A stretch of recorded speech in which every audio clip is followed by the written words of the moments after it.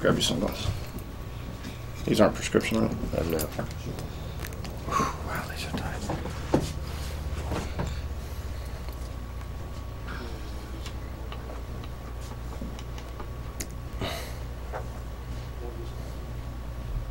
Is the right one okay to do, or Um, I mean, it's it's a little I'm not tight. flexible, so it's like Well, I really can't loosen them up too much more. It's just you, you've got broad shoulders, so they're going to be a little uncomfortable. Mm.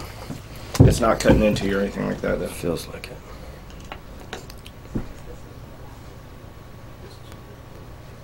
Here, stand up for a second.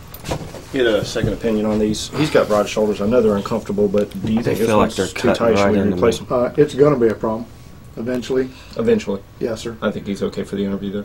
Or unless you want to go ahead and change them out Well, now. if, if we do it now, it'll save us trouble later. Let's do it I'll, now. I'll, I'll take care of this if you want to go get, a, get Right. another set and we'll Okay. hook them up. Thank you. Just stand right here and what we'll do is we'll go get another set and we'll readjust these. Okay. Um, he's right about this one. This one's going to be okay. And as soon as we get that done, all I'm going to ask you is that as we start to remove the cuffs, just let your hands stay free, Yes, sir. okay? And then I'll, uh, we'll adjust them as best we can. Uh, obviously, they're not meant to be comfortable, but they're not meant to be, uh, uh, you know, tremendously uncomfortable. Because this is tingling and cold already. On your left hand? Yes, sir. Okay, we'll take care of that, and then we'll sit you down, and then an investigator will come in and introduce uh, themselves to you, and then uh, and then go through a process. You understand all that? Yes, sir. Okay. We're just going to put a new set of flex flex cuffs on. And, uh, okay. Just remember, as it, this thing start to drop, just uh, Bend over the waist. just lean over a little. There you And go. stay bent over. Yeah, that one's going to be a tough one.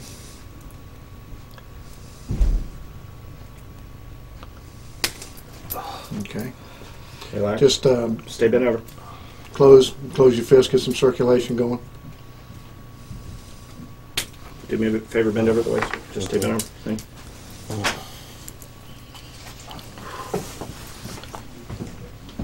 Look at that. I understand Well, that. they're not comfortable, sir. And you, like I said, you got You know, we'll do the best. We'll do the best we can. You want me to take off your watch so it'll feel a little bit that's better? fine. That's fine. Okay. All right. You okay? I'm gonna go ahead and uh, Mhm. bring these up. Would you like? You want your hands uh, hands this way, or Um, this, might be it's- better this way? Yeah, uh, yeah, I guess. Okay. I'm, I'm not flexible. It's- I understand that.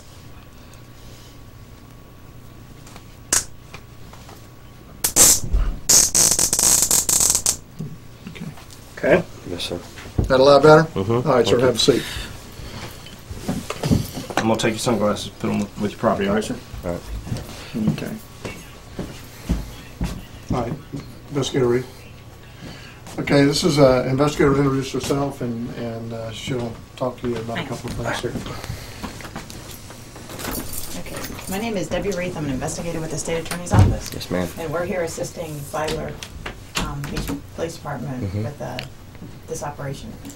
And what I want to do is just get some basic information from you, Okay. as far as your name and everything, but um, what is your uh, last name? Collins. Can you spell it for me? C O L L I N S. And what's your first name? Michael. Is it A M-I-C-H-A-L? L. Okay, and do you have a middle name? Wayne. Okay, Mr. Collins, do you have any aliases that you use? No. Do you go by Mike at all? Um, sometimes, I guess, yeah. Okay. Is it okay if I call you Mike or Michael? Sure. What do you prefer? Mike, fine. Mike? All right. Okay, and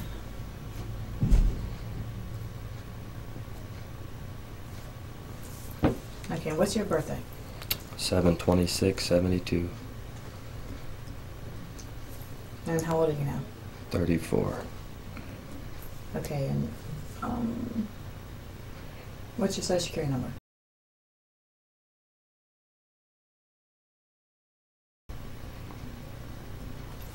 Okay, and how tall are you? Five eight. And how much you weigh? One seventy. Okay, and your hair color is blonde? And your eyes are Blue.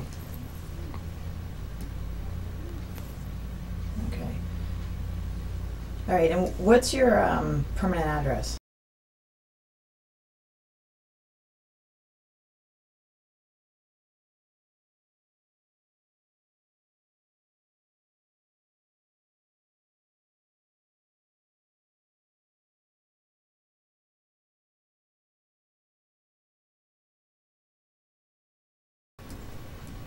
And do you have a home phone number?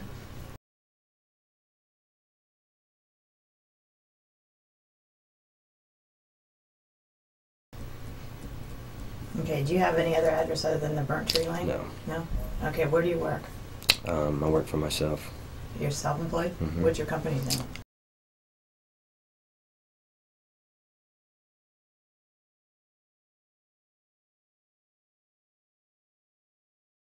Okay. And is it the same address? Yes. Address? Okay. All right, um, what I wanted to do is read your Miranda warnings. Are you familiar with those? Yeah, I'm not really, no. Okay, well, I'm- I'll read them to you anyway. Okay, you have a right to remain silent, and anything you say may be used as evidence against you. Do you understand that? hmm Okay, you have the right to talk to an attorney and to have him with you now or at any time during questioning. If you cannot afford an attorney, one will be appointed to represent you. Do you understand that? hmm Okay. If at any time you wish to stop talking and have an attorney present, all questioning will be stopped at your request. Do you understand these rights? Yes, ma'am. And do you wish to talk to us? Um, I guess. Okay. If at any time you don't, just let us know. But, um, so what do you do for a living? I plumb swimming pools. You plumb swimming pools? hmm So brand new ones? Um, yeah. Who, who do you, do you subcontract with companies? Mhm. Who do you subcontract with? Um, like two or three different companies in town. Okay. Orlando.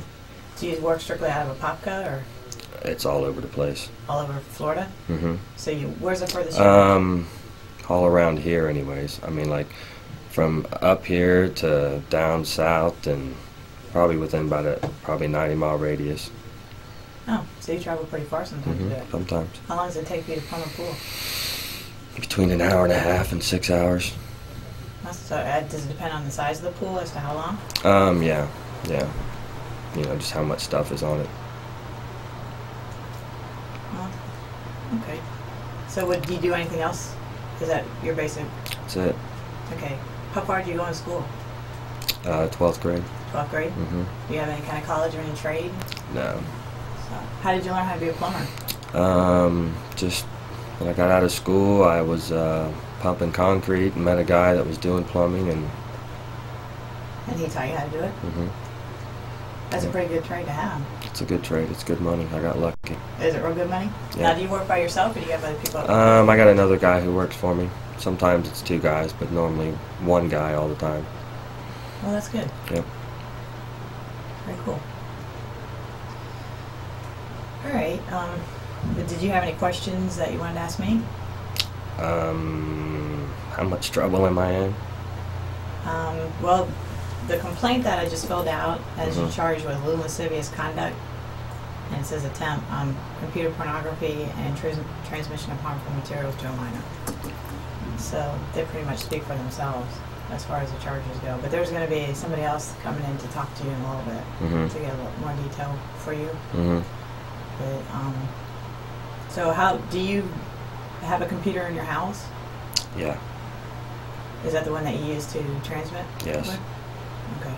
Is there anybody else that lives in your house with you? Uh, my wife and my two kids, How old are your kids? four and six. Oh, so you got young ones. Mm-hmm. Are they boys, girls? Girls.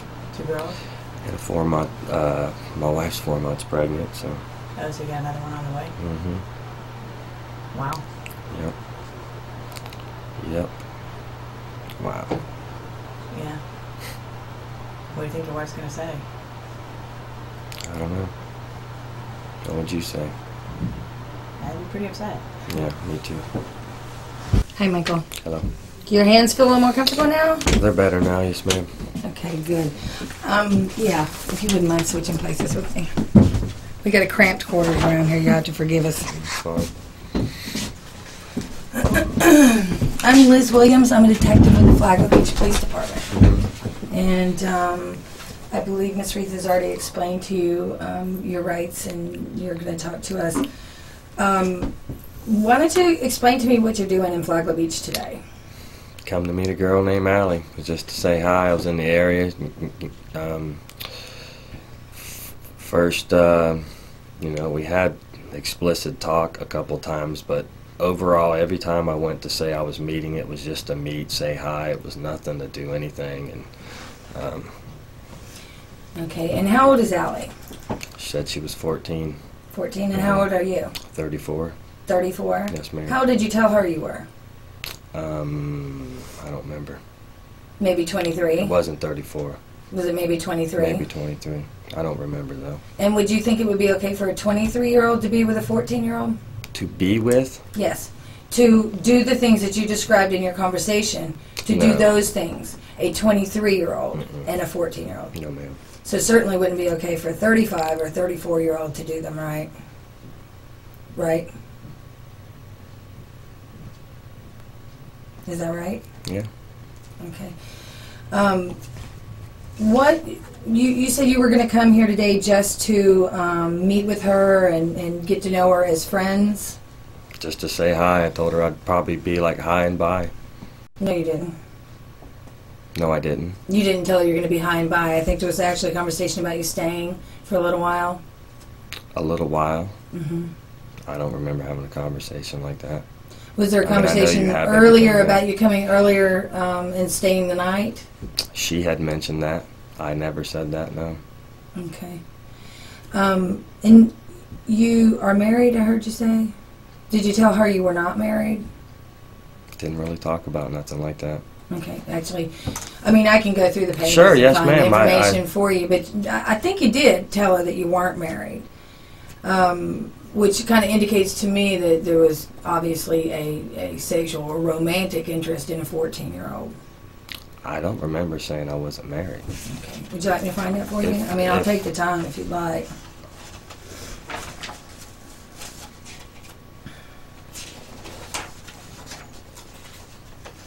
Are you married? No. Want to be one day. I. It must have been when we first started talking. hmm When, when did you first start talking? I really don't remember, to be honest. It's About how long ago? Weeks. hmm And you do you talk to other girls on your computer? Not underage girls like that. This is the only one that's underage. Absolutely. How much time do you spend on your computer? It depends on how much time I have. And say, for example, it's a regular work day. Um, how much time? Maybe from 10 minutes to an hour. And say it's a weekend or a holiday. Um, about the same, But you usually are on the computer late at night. usually. Is that after your family's gone to bed? You get on the computer? Um, most of the time. And you live in Orlando hmm and drove all the way here to say hello, just to say I was hi coming out this way. Okay, so all these things that you said you were coming here to do, um, to make her have an orgasm and make her quiver and hug her and kiss her. As soon as you get here, hug her and kiss her all over. All over. And and I bet you taste amazing. Those things. When you left Orlando, when you left Orlando to come here, Those things, when I left Orlando to come here, were not talked about like that. None of that was talked about like that. All those things that you're pulling back from weeks ago that were said when I first started talking to her, and then everything leading up till now was not like that. okay. So you think that it makes a difference that you Not said that it makes a difference, You said two weeks you're taking ago it out of context, like I just left, girl. like I just left to come here Well, and said those kind of things. early in this conversation, in the dialogue between the two of you, it, you start mentioning that you might come see her. Is why I'm saying that, and the the the conversation between you um, has a lot of sexual context in it, and that that's what you want to do with her. It was not. Now, if you wanted to do think that because you said it four days ago, or a week ago, or two weeks ago, that that makes a difference, well, there, there's not much I can do to help you there. Okay, because in my eyes, it doesn't make a difference at all. Okay, those those were your intent. So when you left Orlando, that's what you left there intending to do. When I left Orlando, I had a place to go. And I was coming by here to say hi, and that was it. And that's what I told her I was doing.